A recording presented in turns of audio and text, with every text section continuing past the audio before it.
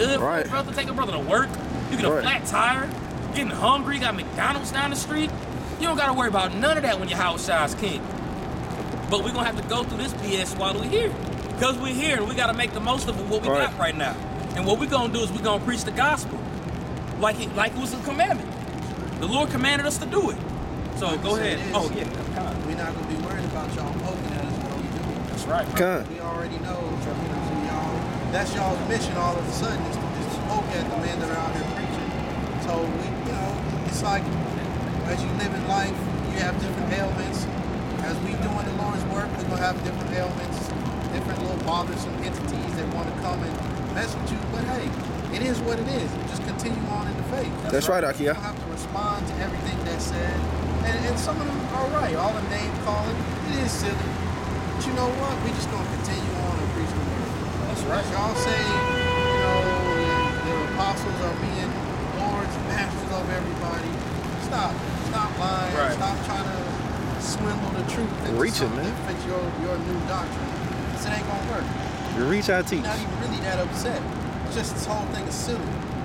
This whole thing is silly, and we know that it's just another element that we gotta deal with. We just gonna keep preaching the gospel.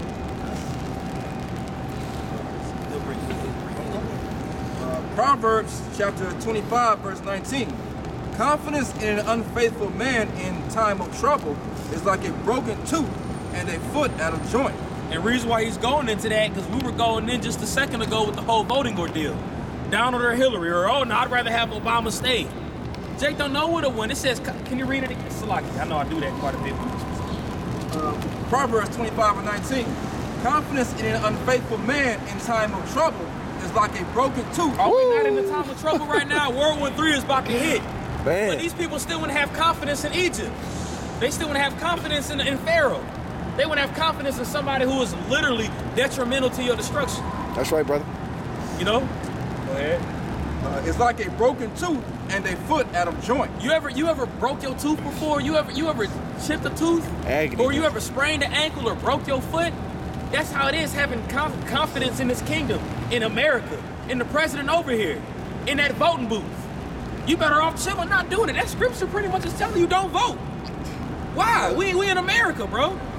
This place is continually going to be against you until our Lord comes back. Until this place is put on fire.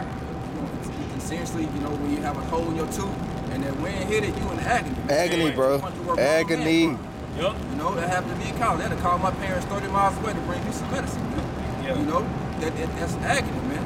You know that there's no comfort in, in these people that are unfaithful. They're not faithful to the, the people on the side. That's right. You know what I'm saying? They said all these lies to get these niggas on the side just so they get in office, man. That's right. They're not faithful to the people. They're just trying to push forward the agenda of the elites, man. That's right. You know, so same way with a broken foot or you sprain an ankle, something like that, you're complete agony and no comfort in that. You can't walk. It seems like all the best shit happen when you can't walk. Like everybody having fun Right. playing basketball or something, go on or something. Your ass left out, man. You know, that that's how it is, man. Having confidence in this whole unfaithful society. Also, That's right, brother. Called white man. That's right, brother. Yeah, the scriptures tells us not to vote for nobody against our nation. The only people we're supposed to elect, we're supposed to vote for. Ultimately, the only person you're supposed to vote for is Yahweh Shem Yahweh Shah. That's right. And when I say that, I don't mean go to the booth and. Write his name in. But I know it says Trump and But gonna, Hillary, but gonna. Right. Write, you write his name with Paleo Hebrew and slide it in there. I did it. That's all I had to do. No, man. No, Nobody. Yeah, 2017. Put some fire in the background, bro. Come on, man. You know what I'm saying? you got this motherfucking orange cream. About to get it. You know what I'm saying? No, man. That Oh, means man. walk in his ways and do what he told you to do. That's right, Akia. And a part of that is catching hell right now for when that kingdom comes. That's all he wants you to do. When he when you vote for your house side, that's what you're doing. You you applying this book in your life daily. You applying his ways in your law in your walk daily. You living in the spirit, walking Right. in the spirit, like the Personal scriptures say, righteous. Galatians, the, the fifth chapter. You know? It's, uh, it's kind of going off a little bit, but not really. Hey, if, if it's in the scriptures, it ain't going off. Yeah, I mean, well, I'm t- topic a little bit, but, but it's going to Hey, tie it's, into it's, it's cool. It's cool. This is uh, Hebrews 13, I mean 11 to 13. These all died in faith, not having received the promises, but having seen them afar off. It, ain't- it, it ain't even going off topic because when it says is these all died in faith, they died in the faith. They walked in the spirit. They voted for Yahweh Shai. They wasn't involved in the ordinances of, of this world. They had their mind set on spiritual things. Like when it says in Matthew the sixth chapter, set your affection on, on spiritual things, not things of this world. Bro. These are the men that died in this truth. Like you had read in um, Ecclesiastes the seventh chapter, the first verse, to keep a good name. Right. It's speaking of these men back then, and that's that good name. That you was gonna say something? So when you read down to the 27th verse, it goes down the line of all our forefathers. That's That's right. right. 27th verse, it goes to Moses. How it says that he, instead of um, enjoying the, pleasures of Egypt for a season, he decided to suffer with his brothers, man. That's right. You know what I'm saying? He did, this is spiritual Egypt right now. And that's what we're doing. We're not suffering the pleasures that we can have when the sign in the promised sense.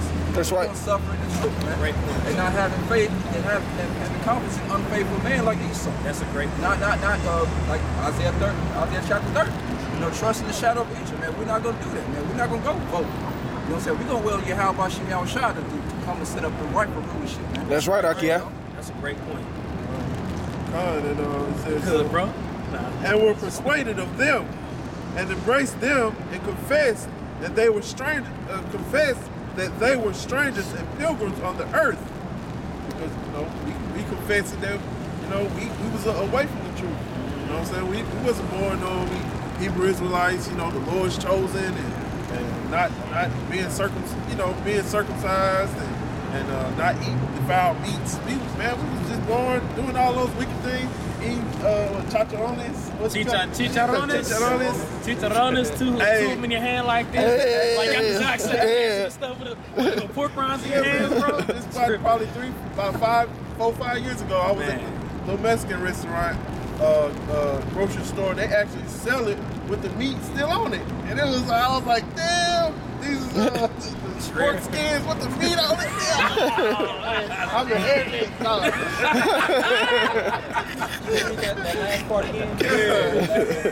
yeah, con. It says, uh, uh, but but uh, it says, uh, but having seen them afar off, and were persuaded of them, and embraced them, and confessed that they were strangers and pilgrims on the earth. That's right, and that's uh, strangers and pilgrims on earth, meaning we just passing through this earth, man. Right. That's what That's we're great doing right now, man. That's why we ain't supposed to put our whole spirit and vibration in this place because we know ultimately the Most High going to destroy it. Right. So you do what you got to do. You, you you get your daily, Daily bread. bread. You operate in a manner that's conducive for you to do the work as far as the ministry goes. But we just passing through, man. That's why the scripture says, and I think in Colossians the third chapter, set your Affections. affections on things above.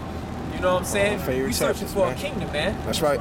So that's why we ain't worried about casting no damn vote. It's something that's gonna ultimately keep this Edomite uh, system going, man. Yeah, the We white looking for supremacy. Yahweh Shai's kingdom to be established on this earth, man. So we just passing through. That's the point.